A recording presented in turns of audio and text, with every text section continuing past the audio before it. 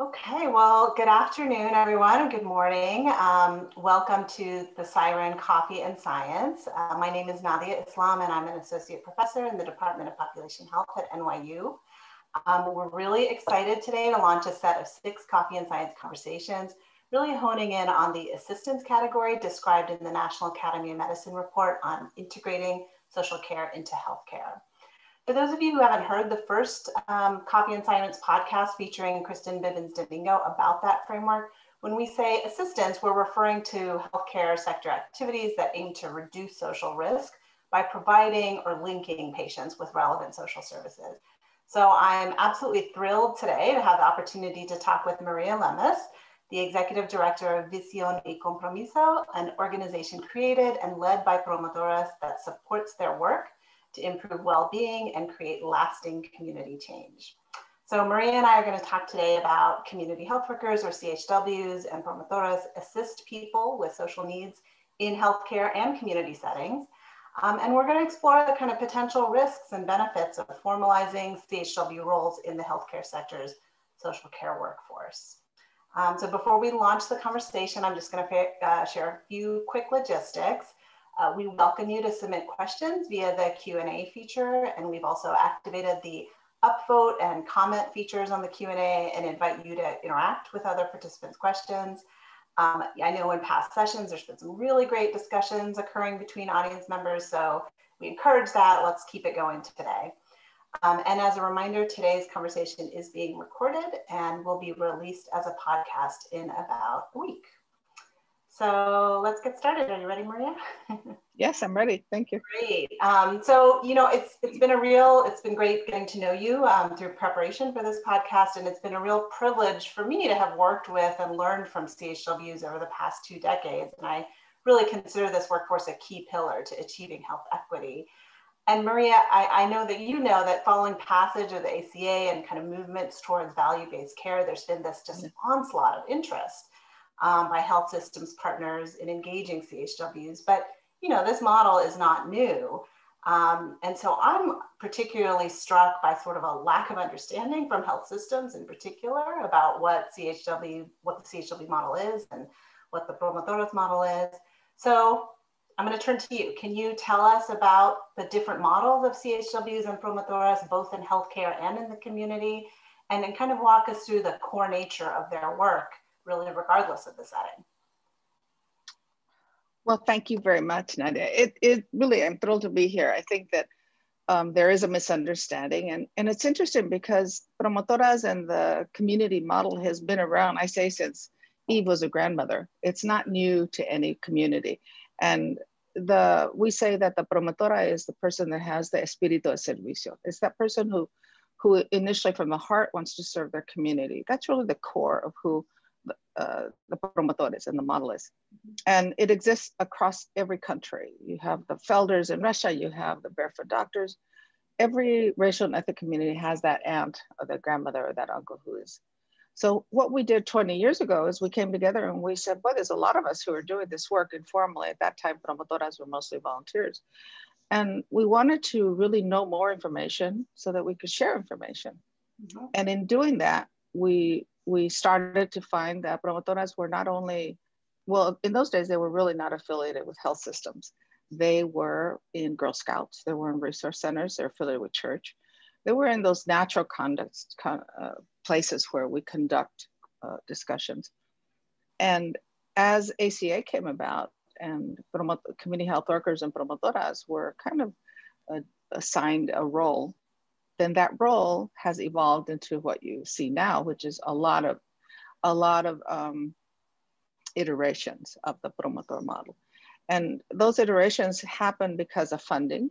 You know, the project development really requires a different language or a different, uh, a different activity, or it happens because of philosophy that, um, you know, maybe the healthcare community wants it, wants a promotor, a community health worker to do something slightly different.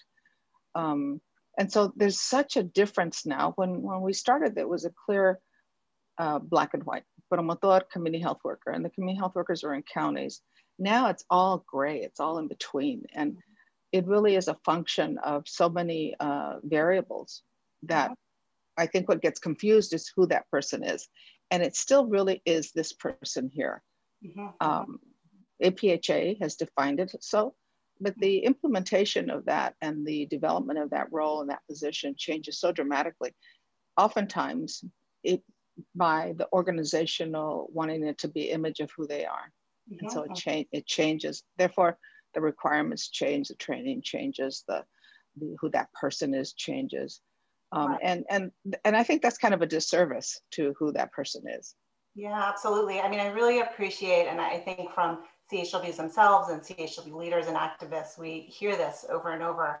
We really need to distinguish roles and responsibilities of CHWs exactly. and from their qualities, and I think that is, mm-hmm. um, you know, I think that's tricky, particularly for healthcare institutions to understand that CHWs and promotoras are really hired based on qualities, and and that central quality is around sort of a, a community helper nature, you know, kind of like having a natural helping nature. Um, and then the other thing is to really, you know, reflect that this model is very much rooted in social justice and, and power building movements, um, you know, from across the country, from across the world, and it, particularly in the US as well, um, from the 1960s.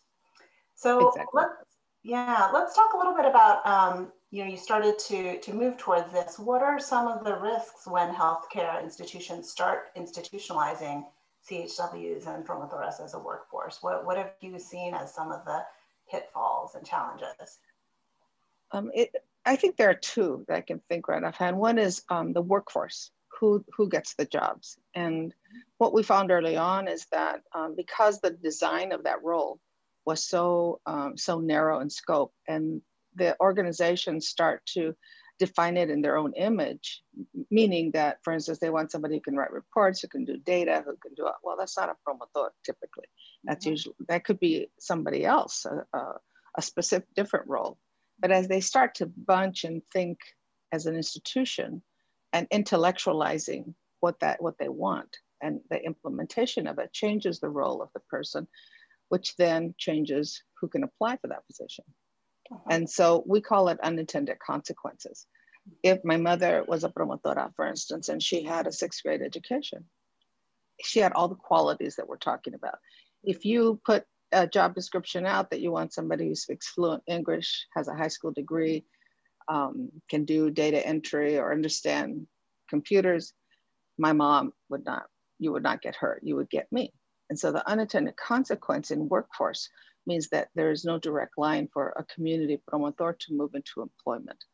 Um, we have a workforce initiative where we are working with promotoras to move them, give them some of those skills that they'll be able to apply for positions and also working with employers to kind of redefine what those roles are. What, what is your need and how can you best employ community? Because we believe that a job is the, the most important factor in a family's trajectory. Employment, having money that you can spend on food, on transportation.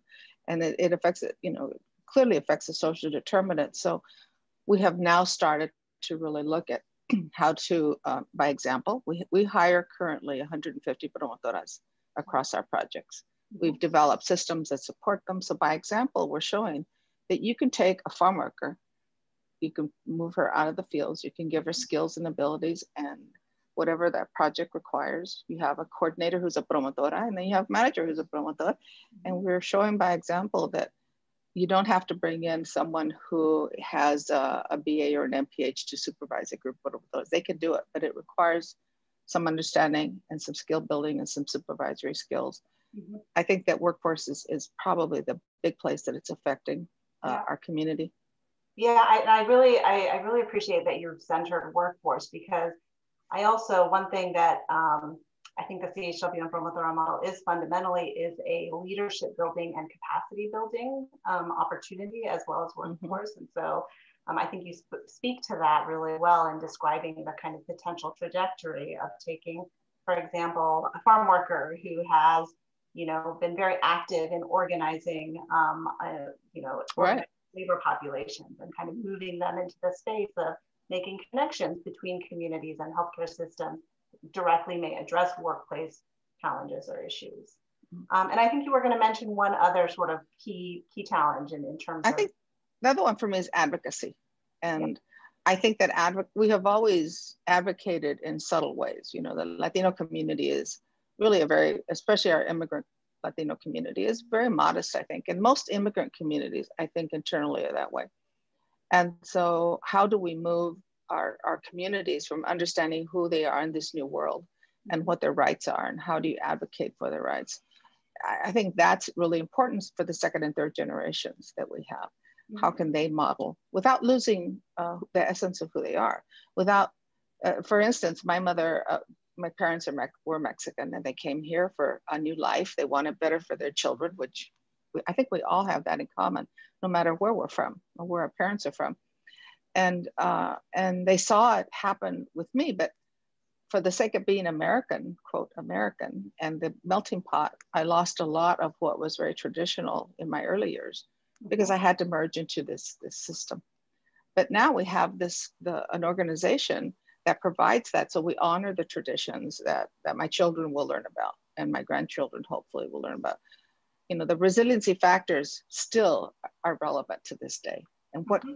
when you think about, when I think about these, ch- these children that are coming across or anybody who leaves their country from Nicaragua, which is 3,000 or so miles away, and comes here with the idea of an of a new life um, what what it takes to do that you know i can barely move from from the bay area to la without being traumatized and, and they do that so what, never going to move again yeah yeah it's you know my son's in new york I, i'm traumatized that he's there it's so far away but how, how is it that we can help understand what the system is and how we can uh, survive not only live in it but survive and thrive in the system Mm-hmm. And so I mm-hmm. think that that advocacy and education is really important. Yeah. So can you tell us a little bit more about those systems of support that are needed for CHWs and promotoras? I know your Visión y Compromiso has developed several reports on kind of best practices for mm-hmm. supporting the CHW workforce, for integrating CHWs into healthcare organizations. Um, and I think that there, you know, there's a kind of a growing literature and, and set of sort of implementation oriented best practices. So can you can you give us some specific examples of that? And I, I think one of our viewers is interested in knowing like where should those systems of support be situated in the healthcare system or in the community or a combination of both? I think a combination, but certainly in the institutions, it's about leadership. You know, the leadership of that institution has to really be forward and say, I believe in this, and mm-hmm. and then it goes down the chain, even to the receptionist. Um, if, if a promotora walks in the door or a client walks in the door and they're not greeted a certain way, you've lost them. That's mm-hmm. kind of the, and, and so when you talk about um, uh, access and, and utilization, if you're not, eh, you could maybe get them to open the door, but if you don't get them through the door, they're not going to stay and they're not going to adhere to those. So a lot of that, I think, is the promotor role. Um, imagine if we had a warm handoff to, and a promotor could greet you and could say something warm and welcoming, then I would feel better about going there and I would feel better about taking the next steps. So I think it has to be both internal and external, and the community um, needs to be informed, needs to be part of the process. We say that going to scale means partnering with community. Uh-huh. There's just not enough doctors, nurses, etc., to take care of all of us. And in the community I work in with Latinos, we're a lot of people and I'm overwhelmed by how many of us there are, and I'm one of them. And so, how do we take care of ourselves um, with such limited resources? Because institutions only have so much money. Uh-huh. So, so for me, what I see is I see community in uh, organically taking care of itself. So I'll give you an example. Yesterday I was in Coachella, and I was very excited about this because we're doing vaccination outreach and we're doing a lot of work there. And there's farm workers that are working right now in 99 degree heat, 99 degree heat. It's not even summer yet. And they're out there picking okra and you name it. So I went to one of, I was visiting the mobile homes, which are horrible for farm workers. This lady took me to her home and she has a garden of herbs that have, that take care of everything. Herbs for your knees, herbs for high blood pressure, herbs for this, herbs for that. And we should recognize so what exists already in our communities to support. So if I have diabetes, the doctor tells me, you know, you, you now have diabetes, and there's a warm handoff to somebody in the community who is well versed, who understands we have a nutrition program, we have an exercise program in the community that's free. Mm-hmm. And then this is a support, then that's the warm handoff. That's going to scale because mm-hmm. community is already taking care of itself and formalize that relationship. Mm-hmm, mm-hmm. yeah. And I, uh, I just want to go back to something you said a little bit earlier about kind of leadership buy-in at the healthcare level. You know, one thing that I, I think we've advocated for for CHWs and promotores is you know, there's a lot of talk about training and credentialing of the workforce, but I think the system also needs to be trained, right? So, oh. so leadership needs to be trained and other members of the healthcare team. And I think that's a little bit unique from, from other workforces. So can you tell us, can you reflect on that and, and tell us a little bit about how, how um, your organization has, has engaged in that? Well, if you look at our papers, our workforce papers, we identify six issues and one of them is supervision and leadership. Mm-hmm. There has to be a warm welcome. There has to be so uh, the organization has to embrace the model and has to embrace that person that's coming in. Otherwise, there is no connection, there's no integration of the promotor model. And the leadership has to, so the, the CEO first has to make that proclamation, then everybody has to understand the important role that that promotora play, plays. For instance, a promotora may be in the office only one day a week. Unless other employees know that that's their role, is to be out in the community, then there could be a lot of things that happen, a lot of whispering and things, and, and they will feel uncomfortable. Also, to be valued as, a, as an employee. Mm-hmm. Um, I think the, the difficulty is that institutions may have barriers of employment also. Um, I know that some hospitals require two and three and four levels of, of identification and of uh, screening, mm-hmm. and it may be difficult. So I, I do encourage or those organizations to partner with community-based organizations, which still meet requirements, but it may be a minimal requirement as opposed to, um, you know, three or four levels of screening. So there, are, and that's leadership. That's understanding that I need to work with agencies that can best access our community. Uh-huh. And and I sometimes think that um, organizations want to keep it close to the heart. You know, they want to keep their property and they want it to be theirs. Right. When really it's everybody's, and they should partner with existing groups that are already doing the work, support them in the work that they're doing, and consider them as partners, not as employees, but as partners in the well being of our community. Uh-huh. You know, you, you mentioned earlier the sort of graying of, of differences between CHWs and promotoras. And mm-hmm. um, I think patient navigator is another sort of role and term that's often um, conflated with those. So can you tell us about sort of um, based on your expertise and experience, what are the best roles for CHWs in uh, promotores in the healthcare system, and is it different from a patient navigator role? Well, I believe that promotoras have a role from preconception to death. Mm-hmm. Mm-hmm. That in the healthcare delivery system, we have a pregnancy prevention project, and we're working with caregiving and, and Alzheimer's and hospice right now. So if you think about the continuum of care of an individual, having somebody help you is in every phase. And, and that's how we look at it.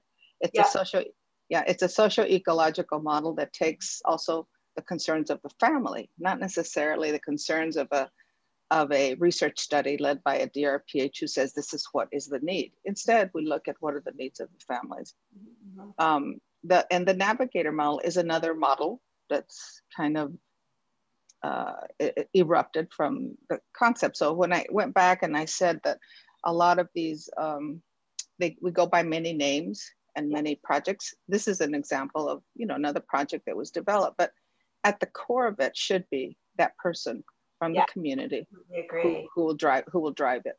Right. And, and I think I would argue that navigation is a task, you know, that, that CHWs and promotores certainly engaged in, you know, I think navigating complex systems and, and making that um, relevant to the lived realities of, of the communities that they're serving is, is, is a key part of what they do.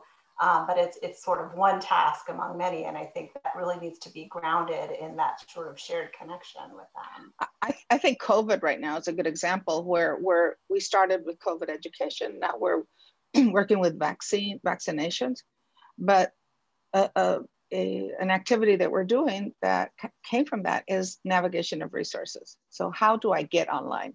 How do I find those food resources? How do I, somebody can give me a piece of paper and put it on the TV, go here for this resource. But if I don't know how to do it and I don't speak English and I can't wait on the line for 30 minutes, or I don't have a phone that has, or I don't have internet, broadband, that's or I don't issue. have an email address, right? So many that's of my right. Have spent uh, an inordinate amount of time during the pandemic right. working with community members to establish an email address. Exactly, exactly. And so that's the intellectualization of our work. It's mm-hmm. somebody who's thinking widgets as opposed to thinking people, and not and that's where the the that's where the um, the separation comes with. And leadership means that leader, that CEO should understand, and some he should go talk to community or his staff, and understand that those are the barriers. So when we're we're non-compliant or we're there's you know the hesitancy issue is not so much even that we're not compliant. Much of it is I don't know how to get it. I don't know how to get online. I can't don't I can't wait for three hours on my turn in California. I can't. So there's so many complications to healthcare that we're not able to access and to take benefit of because of the systems that have been developed. Absolutely, and hesitancy is, is such a, uh, a reflection of kind of uh, structural racism and, and access issues, you know, and I, I think it's, uh, I think that's uh, really important. Oh, now, now you get into something, into a topic that it is, you know, when you think of the healthcare system that was developed mostly for a middle class community, and now we have such a diversity in the United States, how are we going to redesign it so that it's accessible for us, so that we can really take advantage of the services that, that a system provides the minute we walk, why should we walk in the door to do that? Why can't that system be with us?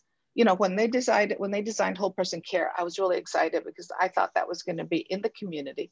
Uh-huh. We would have a little office and we'd be taking care of patients or promotoras could be doing, you know, high blood pressure readings or could be doing all those things in the community, like we have our, our exercise in the community. Uh-huh. And instead it became just within the circle. And so why not just break break down those those organizational barriers mm-hmm. train promotoras you know look at what they're look at what um, raj panjabi is doing in liberia what they're doing in mexico what they're doing in central america promotores across the world have been doing much more than they're allowed to do here in the united states mm-hmm. with training and with proper supervision that pro, a promotor can do almost anything. And we have shown uh, through Visión y Compromiso, we manage about 45 projects right now. They can do it. Not everybody can do anything, but many of them can do everything. Mm-hmm. And they don't have a, a they don't have an MPH and they don't have a BA, but they're really smart. And so I think it's changing our perception about who promotoras are, uh, who is this community, and what is it that they can do. Right. And I, and I think you, you spoke about the sociological model earlier. I think a unique piece of, of, of the CHW workforce is that they really are working across levels. You know, they're, they're working mm-hmm. on the interpersonal level, at the family level. Um, you know, having worked with CHWs, they are so they're such gifted storytellers, and I think that that is a, such a critical piece of advocacy and policy policy change that CHWs can really help to drive. So right. I mean, we could we can work in the fields. Like I saw them in the fields um, in Coachella with they what they do. They went. Some of them were taking the space and working the fields of a person they wanted to educate, so they could come out for 15 minutes and and read some information or be told about something. Who's going to do that? Is a you know who does that? except a promotora because they know that they do whatever they need to to get the information out. Mm-hmm. So I think the misconception about who we are as a community, and I'm a promotora, who we are, what we do, and the capacity to do, we can do almost anything if we're in an environment that's supportive and we're well trained. Mm-hmm. I'm gonna, I'm gonna, we don't have very much time left. This has been such an amazing conversation and 30 minutes goes so quickly. I do want to take one question that I feel very passionate about and I would love to hear your reflections. Um, can you talk a little bit about what, what needs to be done and, and what, what, what do we need to put in place to secure fair living wages for promotoras and CHWs and to really make the value to healthcare systems clear without medicalizing the role? Good question. so uh, along, along with this workforce um, effort that we're engaged in is payment, is, is a, a wage for promotoras. And um, I think that that wage can, right now, okay, so right now CMS has, you know, the ability to Medi-Cal. There are some avenues of the federal government, but there, there are primarily restricted to um, medical organizations, either clinics or hospitals or those, or even mental health, um, mental health and behavioral health. But imagine if you could redefine and have authorized payment outside of the circle. So that's why the partnership with community is so important. So as a CBO, they can also use that that um, that you know that uh, number that you use. Yeah, I can't think of what it's called. And and and and of course there's a billing code. billing code. Thank you. We can use the billing code. Of course, we're trained. There's a relationship. Imagine how many more promotoras would be able to work because now they have billing, they have uh, funding. And when we talk about sustainability of the model, it always comes down to funding because it's it's soft money. But if there was some mechanism that will allow us to move it beyond uh, clinics and hospitals and those organizations to CBOs that are already doing the work um, and, and formalize that relationship, then you would then you'd be able to hire more promotoras. And one thing about funding, uh, Biden, the Biden administration is really um, supportive of community health workers and promotoras. Yeah, 330 million towards CHW. Yes, Mm-hmm. But but as as uh, as you're speaking about it, it would be important to note the distinction that that money should not only go to um, organizations um, like clinics, hospitals, institutions, but also to CBOs who hire the majority or have uh, have them within their realm, the majority of promotores, community health workers, and CHRs. Mm-hmm. And so I think it's an important distinction to make that um, the the the uh, the flow of money it should not just go in one direction, it should be spread out. Yeah, absolutely. And I know that's what uh, many district efforts we're trying to do. And, and I do want to underscore too, I know you know this from your, your work, that there have been successful models, you know, of, of this type of contracting with, with CBOs and, and direct reimbursement. Um, I know from our work in New York City, Make the Road in New York City um, does a lot of work like that. There's many models in Oregon and California. So um, I want to just, I guess I just want to uh, give that hope to the audience and, and to, to health systems that are interested in kind of advocating for this model that um, it is possible. Uh, it is possible. And I think the intermediary, though, has been narrow in scope. And so expanding who that intermediary is to really um, include community as, as, an intermediary, as opposed to being the recipient only. Mm-hmm. Then that's power, that's power building. It really right. recognizes the power of, of CBOs, I mean, promotoras to be part of their own destiny. Mm-hmm. As well as kind of a, a workforce development strategy. So, mm-hmm. mm-hmm. yeah.